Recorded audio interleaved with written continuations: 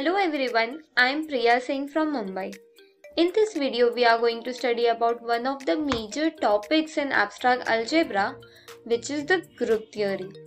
Now, before we study what is a group theory, let us see what is an abstract algebra in brief. In the late 19th century, algebra was no longer restricted to the ordinary number system.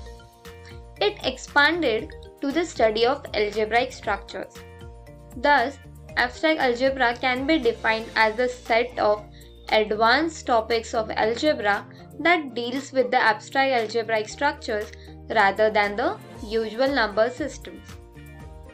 These structures include groups, rings, fields, modules, vector spaces, etc. Abstract algebra is also referred to as modern algebra. The basic three algebraic structures are the groups, rings, and fields.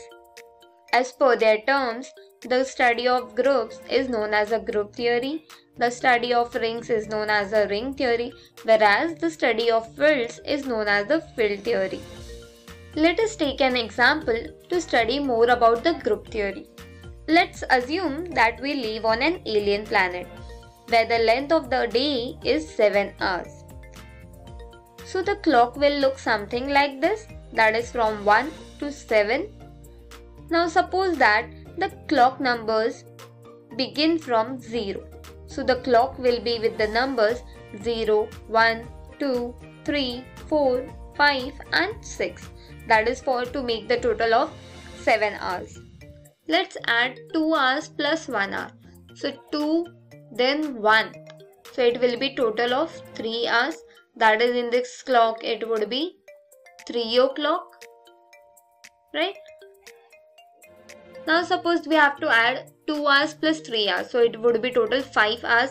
That is in this clock it will be around 5 o'clock right? If we have to add 3 plus 4 so 3 plus 4 is 7 o'clock. But in this clock we have 0 so that it makes 0 o'clock or say the time is 0 in this case.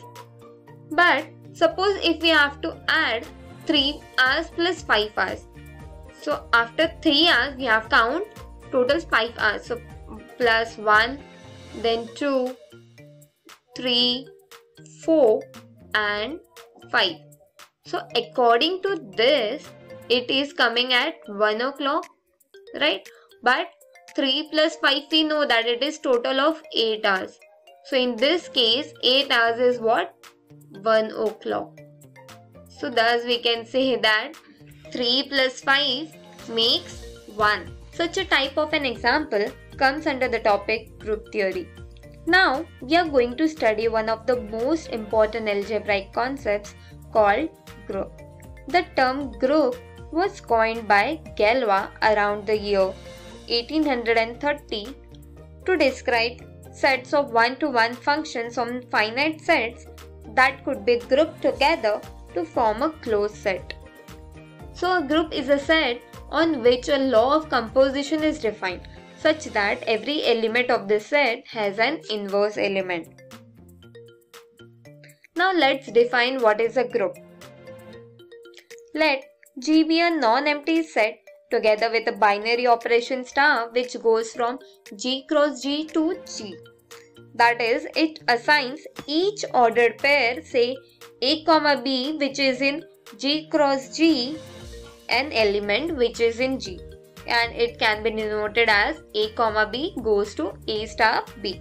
A set G is a group under the operation star if the following properties are satisfied. The first property is the closure property. For any two elements in G, if A star B also goes in G, then we can say that the set G is closed under the operation star. The next property is the associative property. Say for any three elements in G, if a is operated with B star C is same as when C is operated with A star B. Existence of identity element. there exists a unique element in G such that A star E is equals to E star A. That is, it is equals to A. Existence of inverse element. For every element A in G, there exists an element B in G such that A star B is equals to E, the identity element, and B star A is also equals to E. Thus, in short, any non-empty set G is said to be a group if it is closed with respect to the defined operation, the operation is associative and G has an identity element with every element in G having an inverse element. So if G is a group under the operation star, we can say that G comma star is a group. Elementary properties of a group. Say if G and star is a group, then identity element of G is unique. Every element of G has an unique inverse.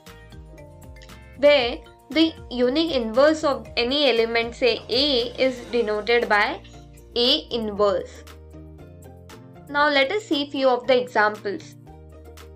Let us consider G to be the set of all real numbers which is denoted by R under the operation of usual addition. So for any two real numbers, a plus b is also a real number. That is, we can say that the set of real numbers is closed with respect to addition. If we consider any three real numbers, then the associative property also holds there exists the number 0 in real numbers such that a plus 0 is equals to a and 0 plus a is also equals to a. That is where your a is any element in the set of real numbers. So thus 0 is called the identity, identity in the set of real numbers R. Now if for any element in real number there exists an element minus of a in R such that a plus minus of a is equals to 0 and also minus a plus a gives you 0. Thus, this set of real numbers that is uh, R satisfies all the properties of group with respect to the usual addition. Hence, we can say that the set of real numbers is a group with respect to addition. Now let us consider this next example where G is a set of all integers that is Z under the ordinary multiplication star. So if we consider any two integers then A star B also belongs in Z. That is we can say that Z is closed with respect to the multiplication operation.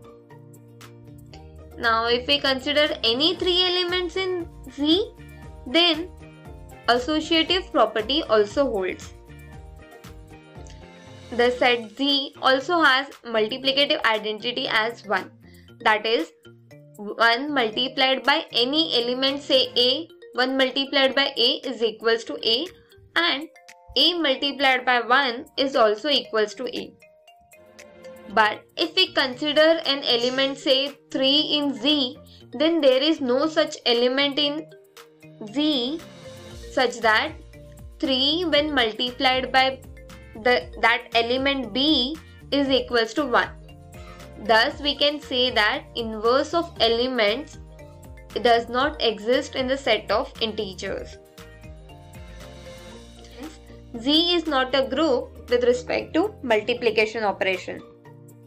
I would like to conclude this video in a humorous way that group theory is a mathematical world where 2 plus 2 is equals to 1. Thank you.